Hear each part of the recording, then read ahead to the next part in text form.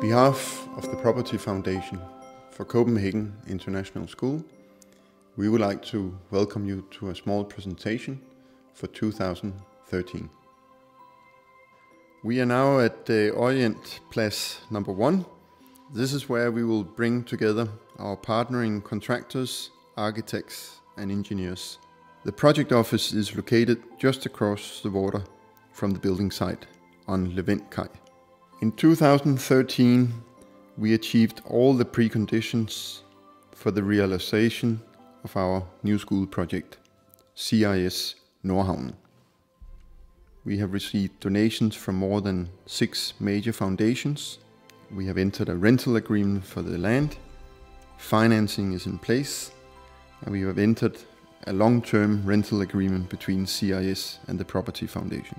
As you can see, the location provides excellent views of the building site, as well as a landing spot for the drone used to explore the views from the new house.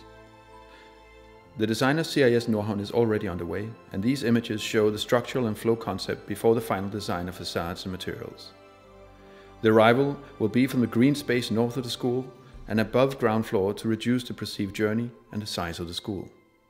The bottom two floors are conceived as a shared resource for the students, parents, international and local community, with sports, drama, music, library and a restaurant.